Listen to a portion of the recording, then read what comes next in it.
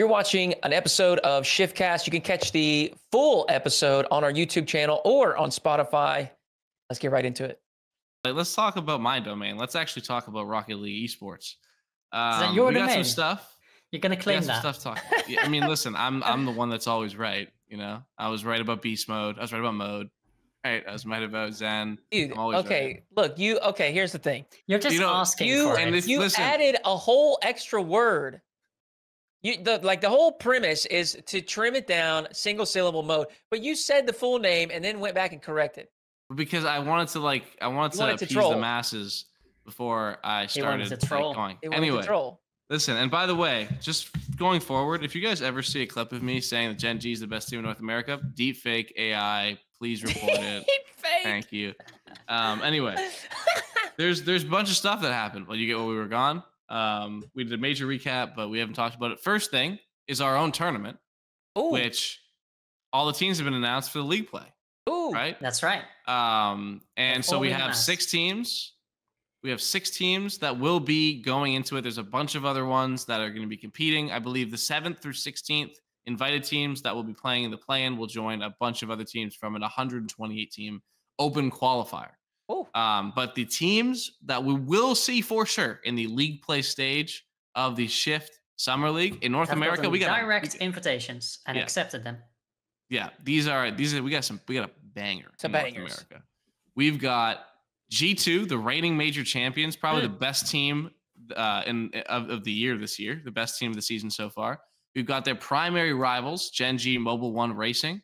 We've got Space Station, who have you know quickly made themselves a real contender to for a top eight, top four internationally.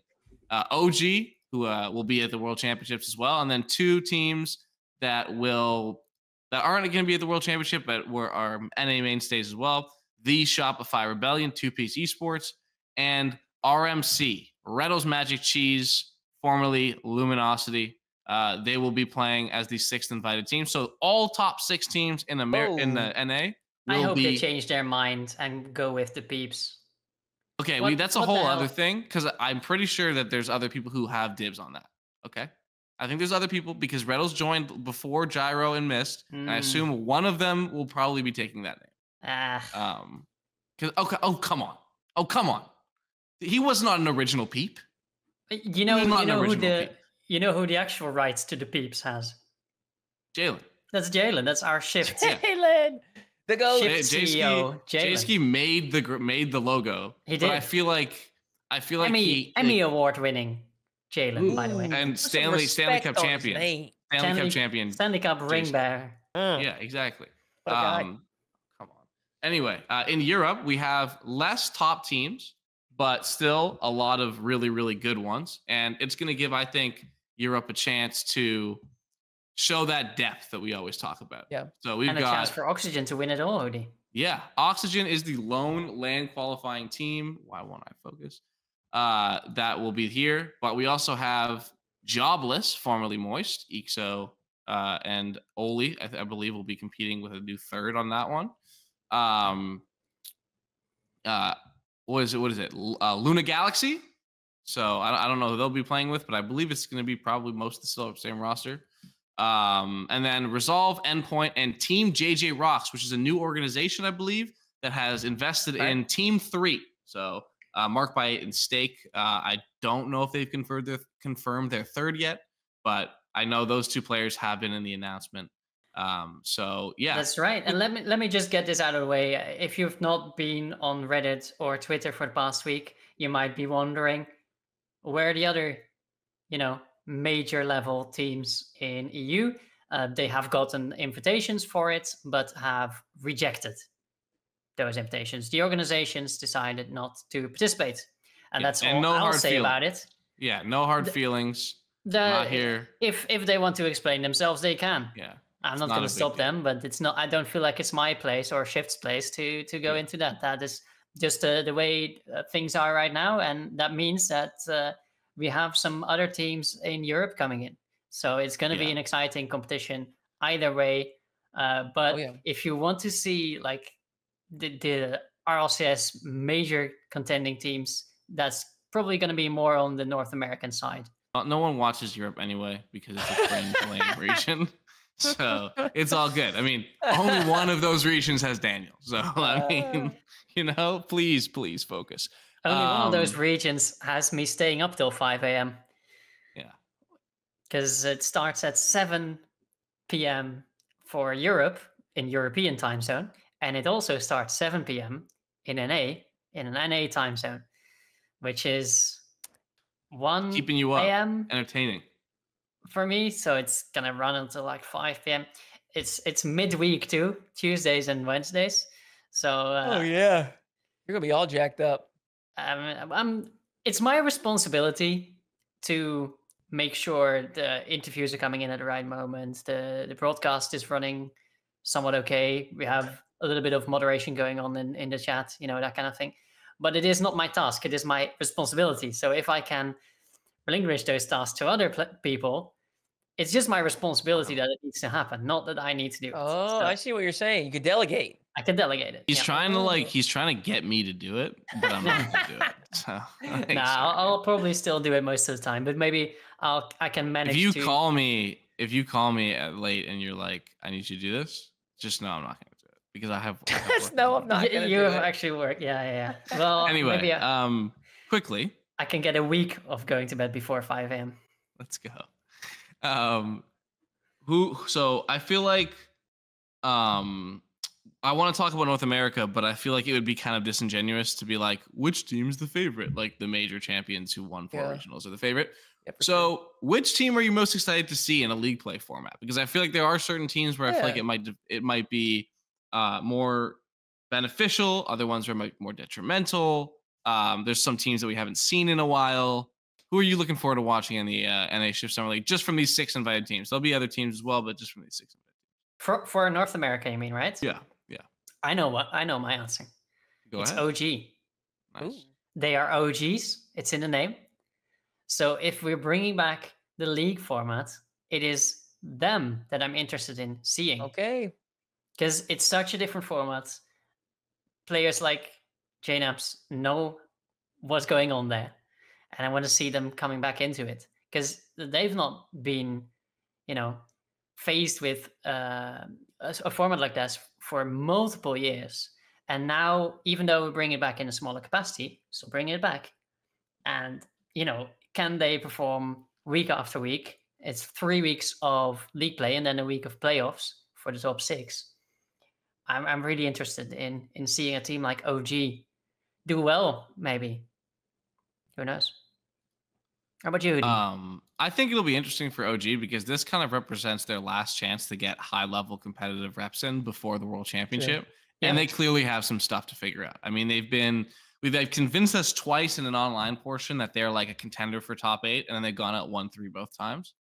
Um, so this is it. If they don't figure out what they're gonna do like differently now on land, this like they're just gonna end up where they were is in in that lower round four. So I, I agree. Hoodie, what about you? Um, I I'm excited to see Rebellion. I uh, but uh, whether it's league play or whatever, I just I, I like I like Rebellion. I think that team is um, an exciting one that I I personally believe kind of underperformed. Um, At least consistency wise, you know, missing the missing the event, I think really put a damper on their season. We saw it with Karmine Corp um, and Moist, et cetera. So uh, you know th- those kind of things, those kind of slips can can really hurt a team's potential long term um, in, in regards to RLCS. So I'm excited to see that. Uh, on the flip side, though, I, I am excited to see Luminosity. I think that's a team that is like heavily reliant on game planning, and Mhm. obviously that doesn't fare too well in in Swiss. So you know, one of the differences with league play is obviously you can see who you're going to play. You know what match is coming up, and I know that the Luminosity team with Greg and, and Kevpert, they do a lot of you know, they do a lot of front loading as far That's as uh, strategy and, and game plan and stuff. So I'm, I'm interested to see how they fare as well. yeah, I want to see them come out with kickoffs, with kind of certain passes, certain demo plays that are almost set pieces. Of course, a, a kickoff is al- always a set piece, Yeah. but I want to see them bringing out specific things that work against specific teams. Right. Um, sorry, I've just been completely. I, I wanted to make a joke about this. I wanted to make sure I was confirming it, so I've been looking somewhere else. speaking of league play, guess who played a a competitive match Yep. for actual money today? Uh, there was a team with Jknaps on it, and there was a team with Lethamyr on it. Talk about a throwback. There's a Canada Day event going on that I didn't know. I can't believe that I didn't. I didn't know this Canada Day event and Team Ontario featuring Leth and Team Nova Scotia featuring uh, Jknaps made the grand final, and uh, I just clicked over to see it. I thought that's a perfect tie-in to to the league play. We got Jknaps and Lethamyr playing against each other in 2024. This is the best NA year of all time. yeah, what I'm year like- is it? um anyway the team i'm looking forward to look i'm looking forward to watch most is uh shopify rebellion because i think they're going to prove to everybody that they should be at the world championship um i'm arming the rebels i know i've been i've been in Arm and out the this team Rebels. all year um but uh two piece uh my dog statistically the best player in north america this season he was a better statistical player than firstkiller for the fir- Whoa. i think that's the first time that's happened in like three or four years Yeah. um I, I I don't know if they're better at Rocket League than OG. I mean, I know that they couldn't beat OG in that moment, you know, but European fans are allowed to cope by saying that Falcons aren't actually better than Gentle Mates. They just like iced up that one time. It was close. I'm going to say the same thing for Shopify and OG. Um, and I think they're going to prove to everyone that maybe even if they didn't make it further than OG, they would have been a more fun time on land because this team, I know we've talked about it before, they're all offense, they're all aggression. Um, and I think that actually works. If they could have stuck to their play style, I guess we'll never know how they how they would actually play on land.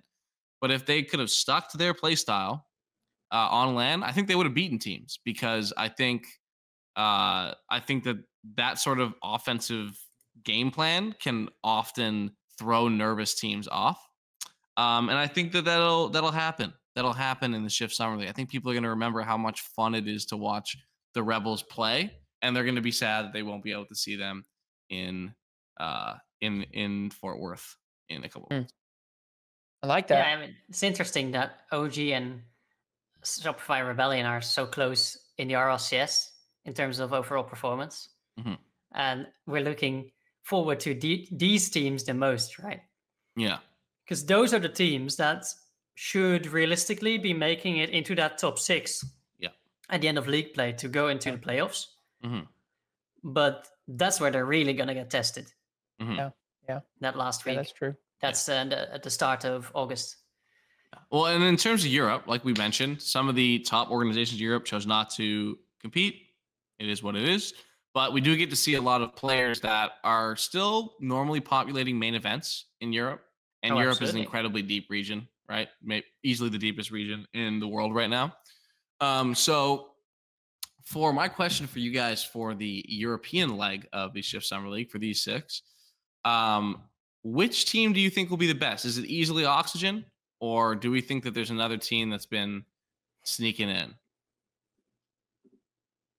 I would like to say easily oxygen, but I I, I don't think that's going to be the case.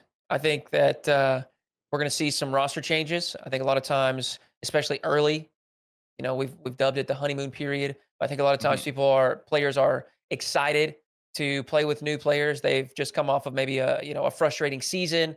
Um, you know, changing up that environment a lot of times can can just provide some new energy, new life. And so I think, and, I mean, and hey, we've got JJ Rocks, a new org, you know, picking up a team. They're catching a paycheck. So um, anything can happen here. I mean, depending on who Luminosity, uh, Luminosity, uh, Luna Galaxy is playing with, I think that's a very solid roster. I think that Resolve roster is very solid as well. Endpoint, um, I don't know what they're going to throw out there, but uh, every iteration of Endpoint seems to be like a kind of a sleeper team, an underdog team that will occasionally pop into those top eights and, and take down some of those top teams. So, I, I mean, I would John like still Ox- there. I would, yeah, I would like Oxygen to uh to to run through things, but I don't think it's going to be super easy. Um, I think we're kind of all forgetting, and now, like I said, I don't know what the roster locks are. I think we're kind of forgetting about Luna Galaxy. They looked really good last time we saw They them. did. They made the grand final in Europe. They lost to BDS, but everyone was losing to It's BDS. easily their best point. event. Yeah, and um, I don't know if they're going to be playing with the same roster. I would assume they are because uh, Chronic was sort of the piece they added, and they're still playing under the Luna Galaxy banner.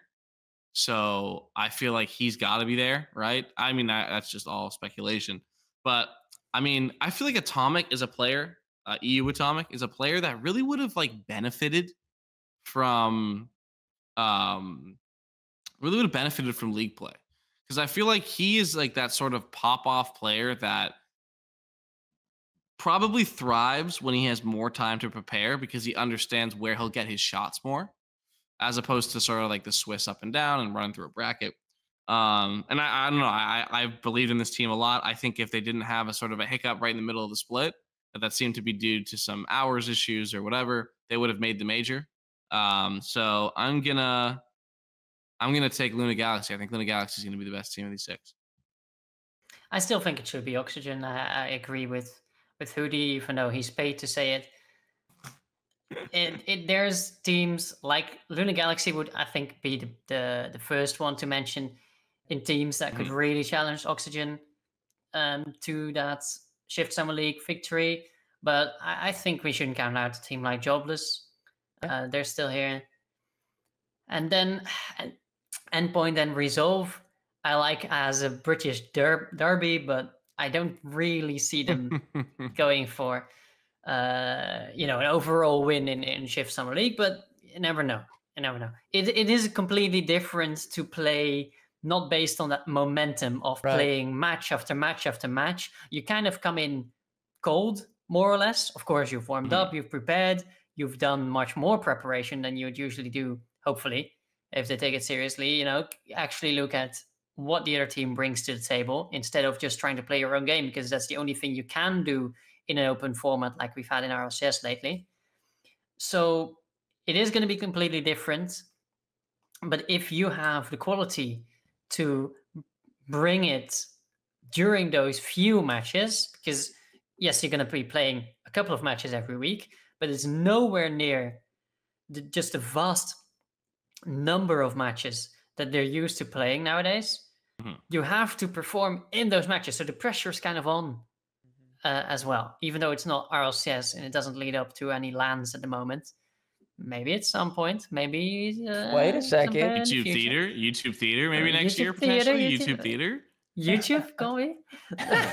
nah, I mean, nah, I, I don't know, but um, yeah, it's it's a completely different system. Yeah, it is. That can benefit some teams that mm-hmm. can really also you know cause disaster for teams who you'd expect to do well. But if they're not warmed up if they're not coming in prepared for their opponents i mean they're gone you know? They have to yeah. play the, the next week. But if they're not getting the points you might even lose out on uh, on on those top six for the playoffs. So and that's it's, it's a different type of preparation right? Because mm-hmm. i feel like in the open system the preparation is making sure your mechanics are on point making sure your team's on point and and having a play style that you feel really confident against any yeah. type of other play style because you yeah. don't know who you're going to play next. You but need in to this focus one, on yourself. In this one, it's like if if you don't, you know, let's say there's what six days in between events. If you're not mm-hmm. doing two days against one matchup, two days against the next matchup to the next one on replays, and the other team is, and they know you better than you know yourself, yeah. in a five game series, it could be bam, bam, 2 0 because they prepped harder. And then you got to try to fight your way back. I mean, we've already seen it uh, in London this time, mm-hmm. G2 completely, yeah. you know, fumbled against Falcons at first. And Seth, you said that had more to do with them not showing up. So they didn't really have to adjust to mm-hmm. Falcons that much. But once you're playing your own A game, you can still adapt to another team, right? Yeah. And that's what yeah. G2 did. They saw how uh, Falcons were, were approaching the game, how they were trying to challenge every ball, how they were trying to set up their own goals. Mm-hmm. And as soon as a team like G2, with the quality of G2, figures that out, you're done yeah. for. Yeah. It's you have to bring like, something new. It's almost like one of the hosts of Shiftcast predicted G2 to win, but predicted Falcons to beat them in the Swiss and said, I actually think them losing them in the Swiss would be an advantage. I don't know what you're talking about, so let's move on. I don't remember that either. Uh, go back, check the tape. check the tape. Thank you for watching this segment of the Shiftcast. Again, you can catch the full episode here on our YouTube channel or on Spotify. Thank you for watching.